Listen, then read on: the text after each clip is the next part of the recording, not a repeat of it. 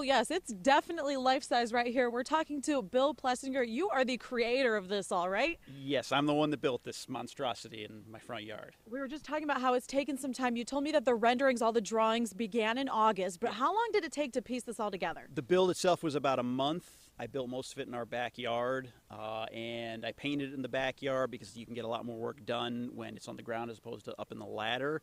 But uh, I pretty much finished it about two hours ago, just with the touch-ups. I know as soon as we got here, we saw you were still painting, doing all that. Yep. And I was curious. I was like, what material is this? But it's a few things. It's wood and what else? Wood, the support beams are metal. Uh, I got PVC pipe for the cannons. It's got two lights in the front back. The middle section is metal, but most of it is uh, in built in sections, so I could get it up on the uh, on the ladder, so I could get it up in the air.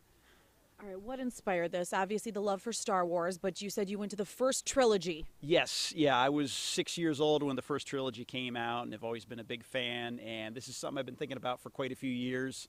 And being a Halloween fan, as much as I'm a fan of Star Wars, each year I try and pick it up a little bit more. And now it's all come to this. All right, what are you doing for next year? Uh, I think I'm going to build a Death Star, life size, Very cool. If everyone wants to come out here, tell them which street you live on so they can come see it. West Beaumont Road. West Beaumont Road, and you tell me that's going to be up for the next week or two, so you could still come by. We've seen hundreds of people come by and take photos today, so he's going to leave it up for the next week or two. You could come out here. Happy Halloween, everyone. Reporting live here in Columbus, Elise Chingari, NBC4. Yeah, that's incredible. Thanks so much, Elise.